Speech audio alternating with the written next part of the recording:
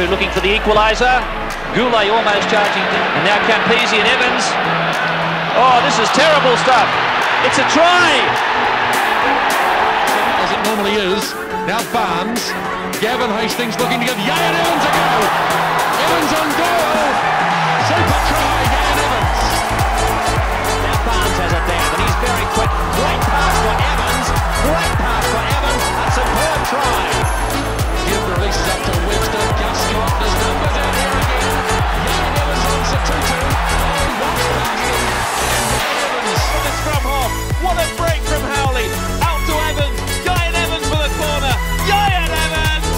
Somehow the Lions keep this ball alive. Exploded out to Ieuan Evans. And Evans finishes it off. Dawson picks the moment. Jenkins, Greenwood. Here's the sealing try.